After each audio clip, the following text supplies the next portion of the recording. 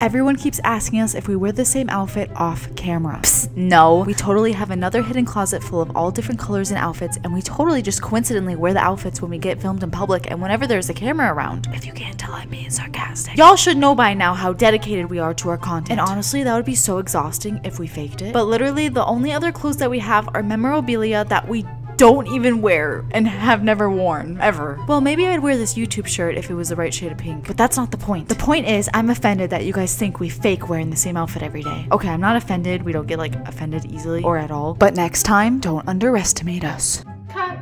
God, get me out of these stupid clothes. Psych. Don't underestimate us. That was creepy. Sorry.